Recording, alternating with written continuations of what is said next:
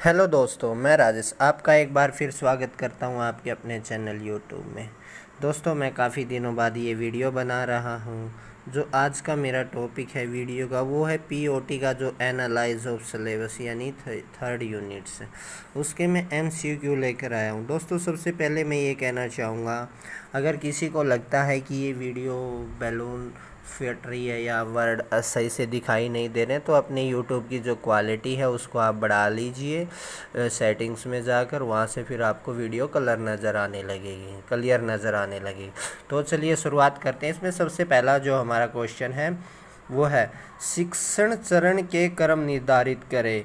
इसका मतलब है कि शिक्षा जो हम शिक्षा ग्रहण करते हैं, जो टीचर, इंस्ट्रक्टर शिक्षा देते हैं, उसको सबसे पहले क्या करना चाहिए? मतलब उसके सबसे पहले क्या होना चाहिए? तो इसका ऑप्शन आएगा दोस्तों डी ऑप्शन आएगा, क्योंकि इसमें क्या है कि सबसे पहले जो हमारा आता है शिक्षण चरण में प्रिपेशन उसके बाद आता है हमारा प्रेजेंटेशन और उसके बाद आता है अप्लीकेशन और सबसे लास्ट में आता है हमारा टेस्ट एंड एलिवेशन तो पहले का डी हो जाएगा। सेकंड है मेथड ऑफ़ एनालाइज सिलेबस मतलब जो एनालाइज करने का सही तरीका सिलेबस का एनालाइज करने का सही तरीका कौन सा है तो इसका ऑप्शन आएगा दोस्तों सी आएगा, क्योंकि सबसे पहले क्या होता है हमारा, इसका ऑप्शन आएगा सी इसमें लिखा हुआ है लेसन उसके बाद है टू पे ब्लॉक और फ़र्स्ट पे है यूनिट तो सबसे पहला मेथड में हम क्या करेंगे, सबसे पहले हम एनालाइज करेंगे लेसन का, क्योंकि यह सबसे छोटा क्रम होता है। उसके बाद हम ब्लॉक का और उसके बाद हम यूनिट्स का तो हमारा ऑप्शन हो जाएगा सी उसके बाद है basic elements of skill. Skill के कौन से बेसिक एलिमेंट्स हैं? टाइम है, एक्यूरेसी है और वर्कमैनशिप है। ये तीनों बेसिक एलिमेंट्स है तो इसका ऑप्शन आएगा डी उसके बाद है लेसन की helping head sorry lesson plan की हेडिंग का क्रम सुनिश्चित करें। तो यानी कि जब हम लेसन प्लान बनाते हैं तो उसमें सबसे पहले हेडिंग कौन सी होती है? तो इसका, इसमें सबसे पहले हमारी हेडिंग होती है, वो होती है टाइटल यानी लेसन प्लान का टाइटल क्या होना चाहिए? उसके बाद हमारा ऑब्जेक्टिव क्या होना चाहिए? उसके बाद हमारा आता है टीचिंग एड्स यानी हम किन किन इंस्ट्रूमेंट्स या जो भी ब्लैक बोर्ड है प्रोजेक्टर है कंप्यूटर है, किस किस की हम हेल्प ले रहे हैं, उसके बाद आता हमारा रिव्यू एंड लिंक और सबसे लास्ट में आता हमारा मोटिवेशन तो इसका आंसर हो जाएगा बी उसके बाद है पांचवा क्वेश्चन है स्टेप ऑफ़ क्वेश्चनिंग यानी क्वेश्चन करने का सबसे तरीका कौन सा है? तो इसका ऑप्शन सबसे पहले आता है हमारा आस्क आस्क मीन्स पूछना. सबसे पहले क्वेश्चन पूछना होता है, उसके बाद हमारा होता है प्यूस यानी कुछ टाइम के लिए स्टॉप रहना, पाँच, सात, दस सेकंड्स के लिए. उसके बाद होता है कॉल करना. कॉल के बाद फिर, उसके बाद आता है लिसन सुनना.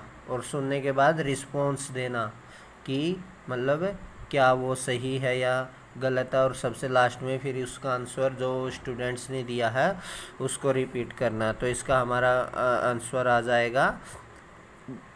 बी सॉरी पाँचवें का हमारा आएगा सी आएगा। जो मैंने क्रम बताया इसके अकॉर्डिंग हमारा सी आएगा।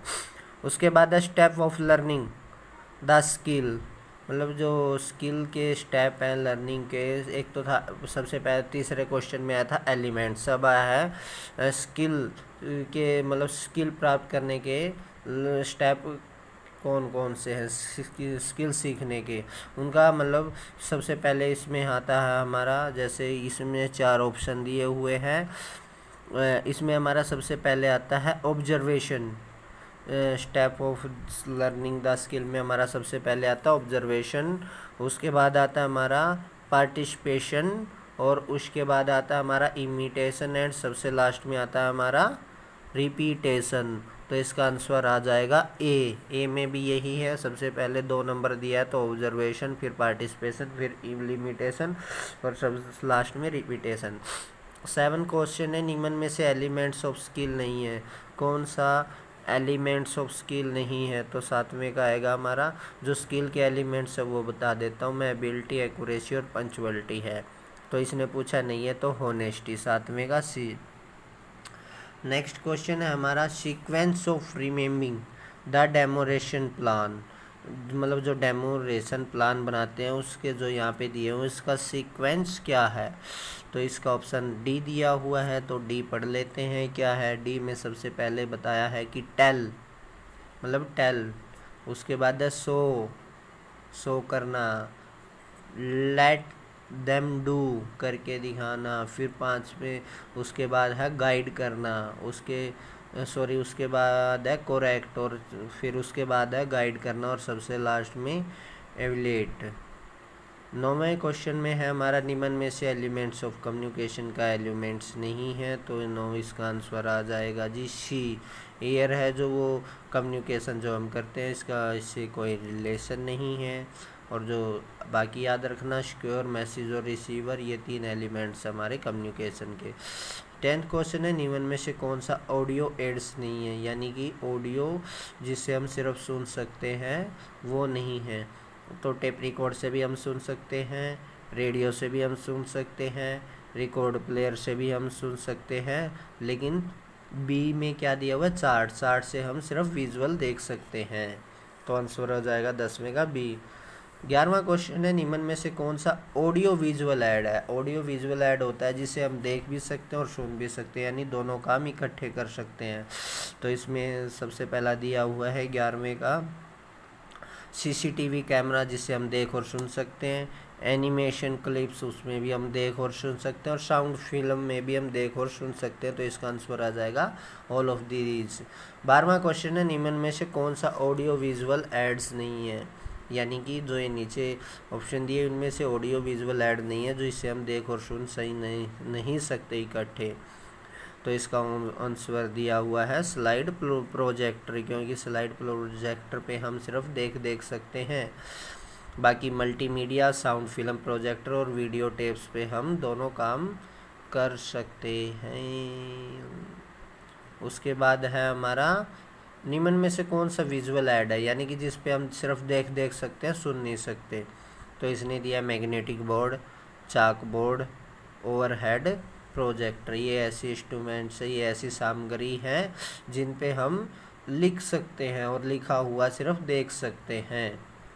और उसके बाद है, चौदवा नियमन में से कौन सा विजुअल एड नहीं है? विजुअल यानी जिसमें हम देख नहीं सकते। तो कैमरे में हम देख सकते हैं, ट्रांसपेरेंसी में भी हम देख सकते हैं, मल्टीमीडिया में हम क्या कर सकते हैं, देख और सुन दोनों सकते हैं। तो इसलिए इसका आंसर यही हो जाएगा चौदहवें का डी। चलिए नेक्स्ट क्वेश्चन की तरफ़ चलते हैं। नेक्स्ट क्वेश्चन है हमारा पंद्रवा माइक्रो टीचिंग के अंतर्गत कितने विद्यार्थी एक साथ पढ़ाए जाते हैं? हालाँकि ये जो क्वेश्चन है, ये शायद पाँचवें फाइव यूनिट्स का, लेकिन इसमें दिया हुआ है तो इसमें आएगा चार से पाँच। माइक्रो में कितने पढ़ा सकते हैं? चार से पाँच पढ़ा सकते हैं।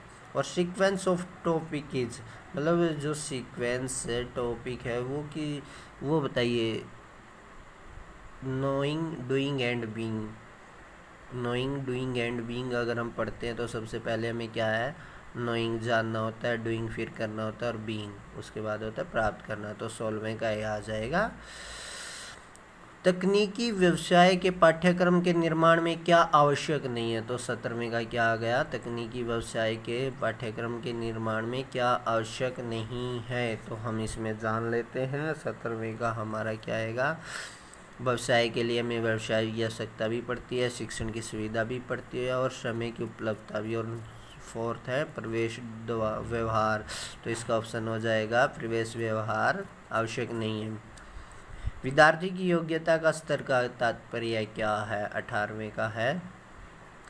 मतलब तात्पर्य अगर आपको किसी की योग्यता जानी है तो आप कैसे जानोगे? मूल्यांकन किया जाए तो अठारहवें का ये आ जाएगा। मूल्यांकन मतलब टेस्ट एंड एलिवेशन के द्वारा ही। उन्नीसवें का है पाठ्यक्रम विश्लेषण का मुख्य उद्देश्य इनमें से नहीं है। मतलब जो पाठ्यक्रम का है हम एनालाइज करते हैं, उसमें से तो उन्नीसवें का आ जाएगा डी क्योंकि उसमें हम विश्लेषण एनालाइज इसलिए करते हैं कि हमें क्या पढ़ाना है, क्या पढ़ना है, क्या पढ़ाना और किस क्रम में पढ़ाना है।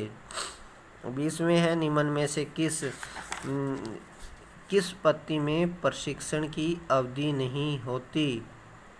तो इसमें आ जाएगा प्रशिक्षण की अवधि विषय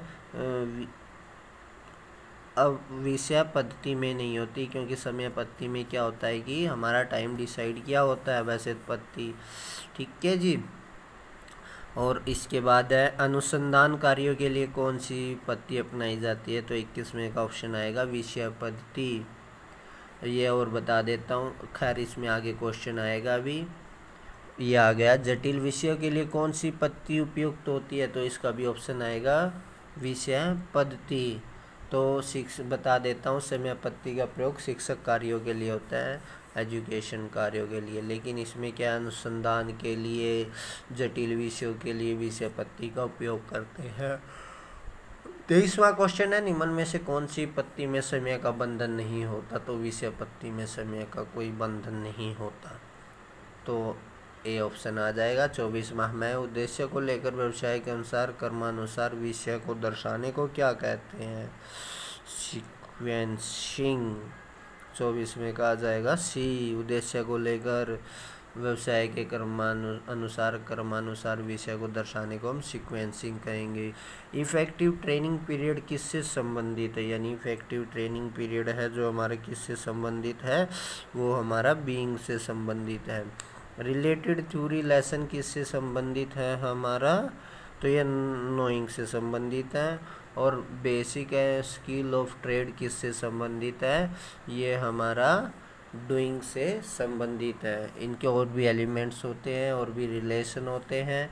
वो मैं आपको स्पेशल वीडियो बना के बताऊँगा। उसके बाद हमारा नेक्स्ट क्वेश्चन है, प्रशिक्षण का कार्य कब तक पूरा नहीं होता? जब तक इसका आंसर आ जाएगा मूल्यांकन ना हो, क्योंकि जब तक हम किसी चीज़ का टेस्ट और एलिवेशन नहीं कर लेते हैं कि तब तक हम नहीं कह सकते कि कार्य पूरा हो गया तो अट्ठाईसवें का सी। उनतीसवां है, प्रशिक्षण चक्र में मुख्य घटक निम्न में से कौन सा सही नहीं, कौन सा नहीं है? प्रशिक्षण चक्र का मुख्य घटक कौन सा नहीं है? तो ज्ञान या परिस्थिति से कोई मतलब नहीं होता। उन आयोजन से तैयारी से और विशेष सूची से ही मतलब होता है। मास्टर शेड्यूल निम्न में से क्या नहीं दर्शाता? जो हमारे शेड्यूल बनाए जाते हैं, ब्रेकअप किया जाता है, सिलेबस का उसमें उसमें एक आता है मास्टर शेड्यूल। तो इसमें क्या दिखाता है? प्रशिक्षण का समय दिखाता है, विषय वस्तु का क्रम दिखाता है और समय विधि दिखाता है और इनमें से कोई नहीं। तो यहाँ पे इसका ऑप्शन आएगा जी। आंसर में दिया हुआ है डी लेकिन मुझे इसमें थोड़ा सा डाउट है। तो जो मास्टर शेड्यूल सॉरी हाँ इन्होंने दिखा है कि किसे नहीं दर्शाता तो मास्टर शेड्यूल इन सबको दर्शाता है। विषय वस्तु का क्रम भी दर्शाता है। तो इसका ऑप्शन आ जाएगा सही डी आ जाएगा। सही दिया है। इकतीसवा, व्यवहार में परिवर्तन के बिंदु नहीं हैं। व्यवहार में परिवर्तन के बिंदु नहीं है, यानी व्यवहार में क्या है? व्यवहार की आवश्यकता ही व्यवहार में परिवर्तन के बिंदु नहीं है। इकतीसवें का डी और सबसे लास्ट है। पाठ्यक्रम का सबसे छोटा अनुदेश के बाद क्या होता है? तो इसका होता है, मैंने पहले भी बताया था लेसन लेसन सबसे छोटा होता है। तो दोस्तों, आज की वीडियो में इतना ही। नेक्स्ट जो हमारा यूनिट होगी, वो प्लानिंग फॉर इंस्ट्रक्शन यानी फोर्थ यूनिट होगी। Thank you watching this video